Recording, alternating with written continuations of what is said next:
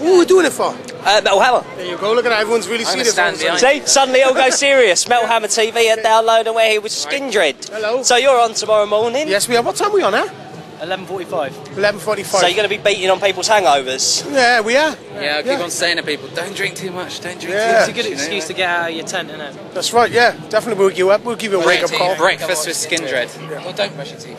So I've, I've seen you guys open for Reel Big Fish and Soulfly. Is it, does it make it worthwhile to come to a festival like this where you can unite every type of music that's in circle here? Every sort of fan base that's here, Skindred can cater for. Yeah, that's that's a good vibe, right? That is good. Yeah, definitely. That makes us sound a lot better than we actually yeah, there you I'll go. take we are the band that can do that. No, I'm- we're pretty buzzed about playing and stuff. And you're right, we can cater to most people's, you know, musical taste, I mean, which is uh, good. This, this must be right up your street though, festivals. I mean, festivals got to be your... We, Skindred are a festival band, definitely, you know, because there's a lot of, of people from different genres of music there, and, and everyone who ch- catches us can hear the, the diversity of music and just rock out, Yeah, like, they you know? come and have fun, you know, just forget about things and have a good time. Hopefully Yeah. they'll be there tomorrow morning. And Yeah.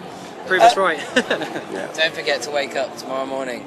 Don't Yeah. forget to do that. Come and watch. That'd be good, alarm, alarm clock Stage, set. come is it? No, I mean, when we were walking around, a lot of people came up and said they're going to be up for us in the morning. This guy came up, ah, yeah, tomorrow. I said, you won't. If You you're lucky if won't. he's up Yeah. on tomorrow night. Serious. He'll be down tonight and be gone tomorrow.